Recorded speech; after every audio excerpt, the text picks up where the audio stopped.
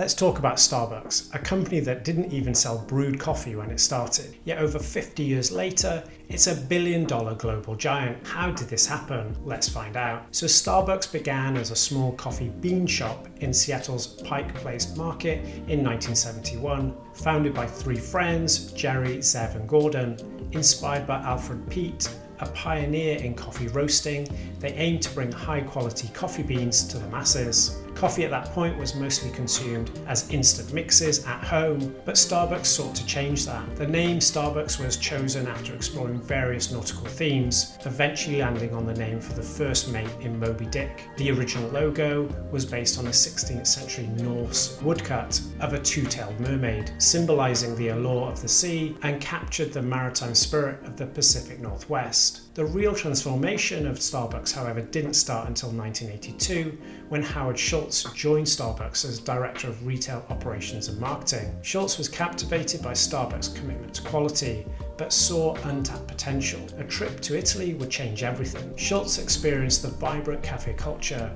Coffee bars were not just places to grab a quick espresso, but they were social hubs where people gathered to chat and relax. He realized Starbucks could replicate this experience in the US. However, the original founders were focused on selling coffee beans and equipment, not creating a coffee house chain. Determined, Schultz left Starbucks in 85 to start his own coffee shop. His concept succeeded, and in 87, Schultz had made enough money to actually acquire Starbucks, merging it with his company and transforming it into the cafe style business we know today. With Schultz as CEO, Starbucks embarked on massive, rapid expansion.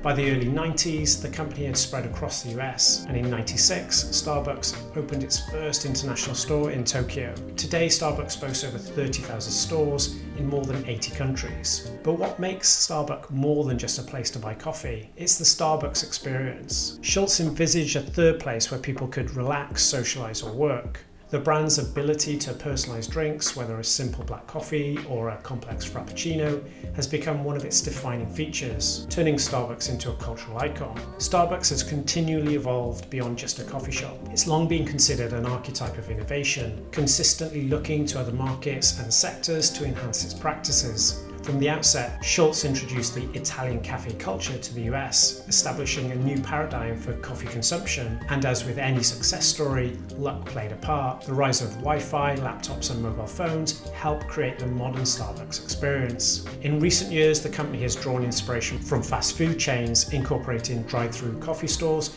into its business model. This approach, adapting successful ideas from other industries, has been key to Starbucks' strategy. However, Starbucks' massive success comes with drawbacks. As with any large corporation, its environmental impact is significant. Reports suggest that 8,000 single use paper cups are consumed every minute. In 2020, Starbucks announced goals to reduce its carbon, water, and waste footprints, but whether these goals will be met remains to be seen. Critics also argue that aggressive expansion akin to McDonald's and Subway has homogenized our streets, making it difficult for independent businesses to compete. But could things be shifting? With multiple Starbucks locations on nearly every high street, is now the company facing competition from itself. The recent change in CEO hints that shareholders may be dissatisfied, suggesting that Starbucks' future might not be as bright as it once seemed. Time will tell if Starbucks is actually in decline or whether this is just a new chance for it to innovate. So the next time you enjoy your favourite Starbucks drink, remember that it all started with a small shop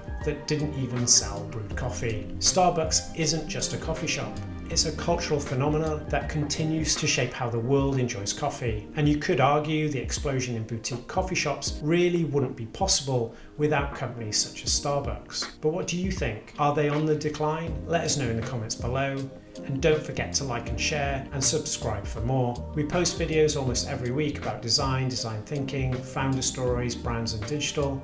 Until next time, stay curious and see you in the next one.